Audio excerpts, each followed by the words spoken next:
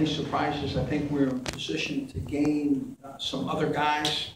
Um, But uh, I think we, I think we managed that position to realize uh, where we were at. And I think we hedged our bets effectively and uh, we signed a class that what we need. If we end up with 22, and I'm going to suggest that we could end up with 23 because there's another one yet to make a decision that will take place tomorrow. So uh, we're going to hold and, uh, and be representative and um, see if we can't add another to the list.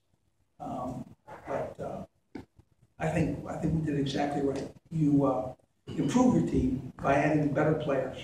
If you cannot add better players, don't add guys, guys that- that have not uh, demonstrated the ability to play in our conference and to play in our stadium.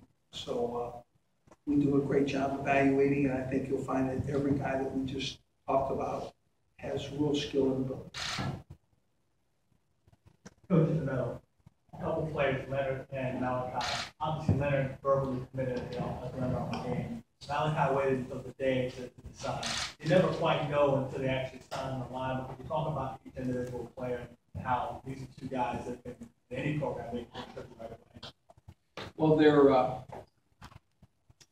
as running back, the, the inhibitor for a running back, generally speaking, is he's got great speed, he's not very big. And if he's very, very big, he doesn't have great speed. And so basically, you take the big back and you trim him up, and you get him faster. You take the small back and you uh, build him up, and hopefully you don't get him slower. And, uh, but for Leonard Fournette, it's, it's size and speed and ball skills and great vision.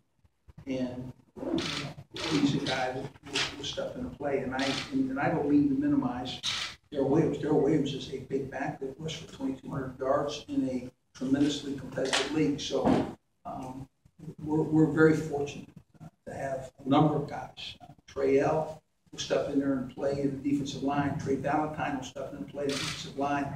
Um, will step in and play. And so we're, this is a, a thick class. It's not just the elite.